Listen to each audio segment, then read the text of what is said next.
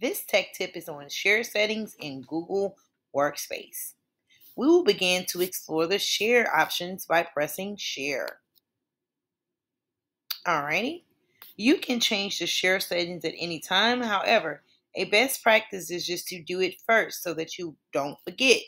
Usually, whenever I'm filling out a form, I usually do so from top to bottom. So that's a good way to look at it here. Let's start at the top.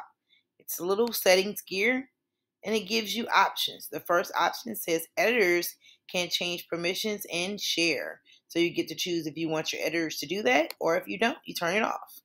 Okay.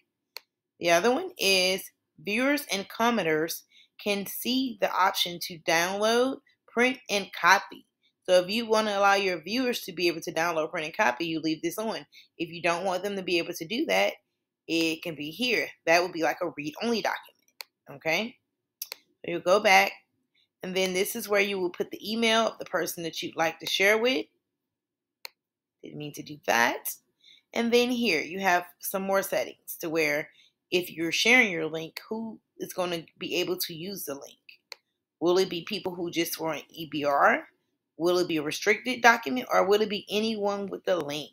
a lot of times I like to just do anyone with the link. So if I a link to anybody, if they're using their personal email address, they can still use it. That's why sometimes when you guys are trying to complete a document or access something, it tells you, you need permissions first. So a good practice, if it's something that's not, you know, personal, you can just set it to anyone with the link. Therefore, whoever has the link, they are able to see it.